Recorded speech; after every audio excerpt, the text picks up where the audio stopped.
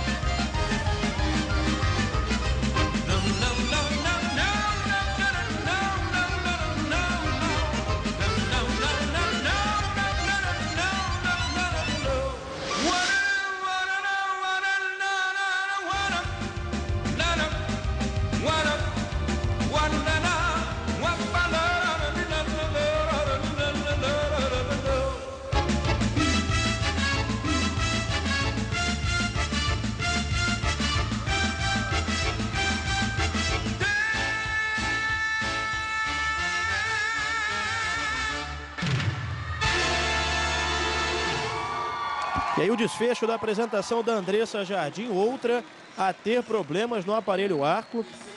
A gente sempre costuma dizer na ginástica artística